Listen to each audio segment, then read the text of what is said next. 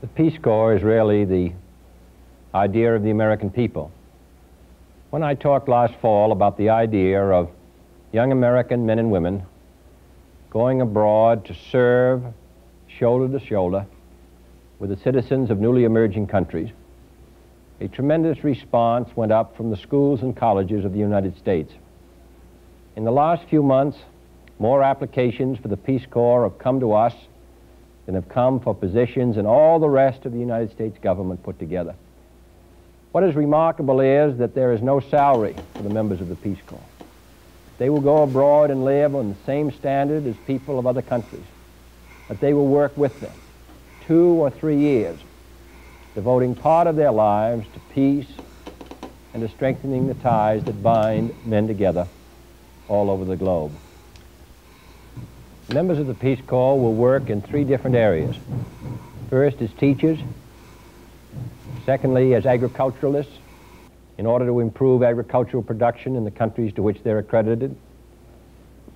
And third, they will work on health. For example, I would like to see a major worldwide effort carried on to stamp out malaria. They will be available for this work. We will send abroad only those volunteers who are capable and well trained and who will be welcomed by other countries. Our Peace Corps, I want to emphasize, is not designed as a weapon of propaganda, is not designed as a tool in the Cold War. It is a genuine effort by the people of the United States, particularly those who are young, to play their part in working for peace, in improving the lives of all mankind. It comes, I think, from a deep historic and revolutionary experience that we have had. The people of this country are anxious to see a world in peace. Young people in this country are anxious to hold out their hands to people in other worlds. They will learn as much as they will teach. This is an experiment.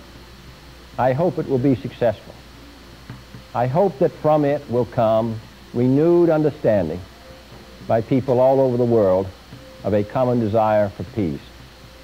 I hope out of it will come a better life for all mankind.